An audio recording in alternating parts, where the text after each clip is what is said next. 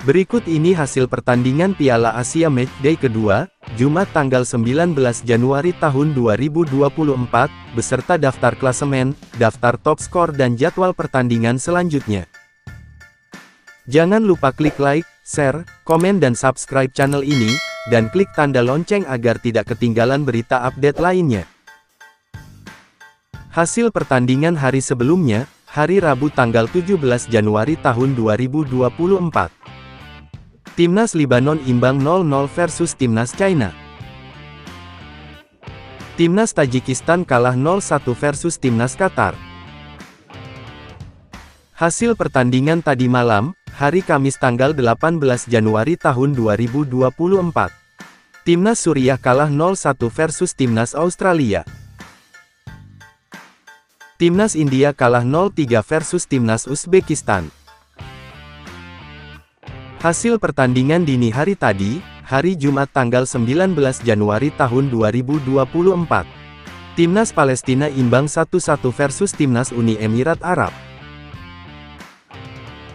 Berikut klasemen sementara Piala Asia Jumat tanggal 19 Januari tahun 2024.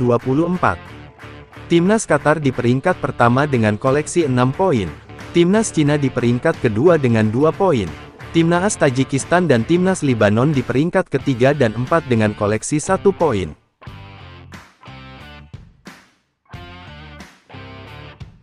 Berikutnya klasemen grup B. Timnas Australia di peringkat pertama dengan koleksi 6 poin.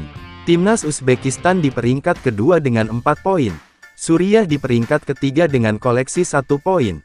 Dan Timnas India di peringkat keempat dengan koleksi 0 poin. Selanjutnya klasemen grup C. Timnas Uni Emirat Arab di peringkat pertama dengan koleksi 4 poin. Timnas Iran di peringkat 2 dengan 3 poin, Timnas Palestina di peringkat ketiga dengan 1 poin, dan keempat Timnas Hong Kong dengan koleksi 0 poin. Berikutnya klasemen grup D. Timnas Jepang di peringkat pertama dengan koleksi 3 poin. Timnas Irak di peringkat kedua dengan 3 poin. Vietnam dan Indonesia di peringkat ketiga dan keempat dengan koleksi 0 poin. Berikutnya klasemen grup E. Timnas Jordania di peringkat pertama dengan koleksi 3 poin. Timnas Korea Selatan di peringkat kedua dengan koleksi 3 poin.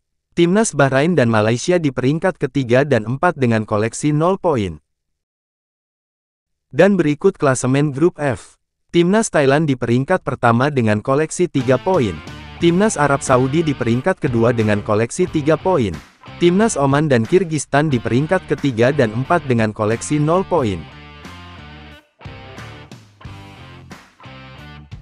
Berikutnya daftar sementara peringkat ketiga terbaik.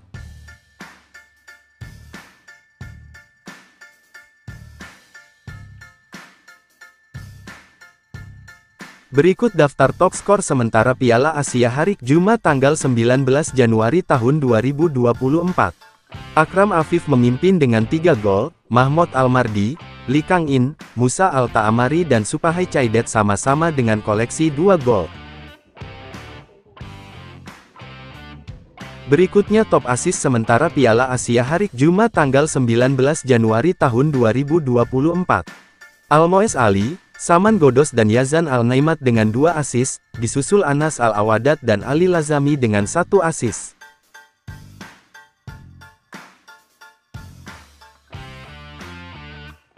Jadwal pertandingan selanjutnya.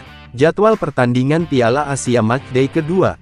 Hari Jumat tanggal 19 Januari tahun 2024. Timnas Irak versus Timnas Jepang, jam 18.30. Timnas Vietnam versus Timnas Indonesia, jam 21.30. Berikutnya hari Sabtu tanggal 20 Januari tahun 2024. Timnas Hong Kong versus Timnas Iran, jam 00.30. Timnas Jordania versus Timnas Korea Selatan, jam 18.30. Timnas Bahrain versus Timnas Malaysia, jam 21.30. Berikutnya hari Minggu tanggal 21 Januari tahun 2024. Timnas Oman versus Timnas Thailand, jam 21.30. Berikutnya hari Senin tanggal 22 Januari tahun 2024. Timnas Kirgistan versus Timnas Arab Saudi, jam 00.30. Pertandingan Piala Asia tahun 2024 Qatar, disiarkan langsung di RCTI dan iNews TV.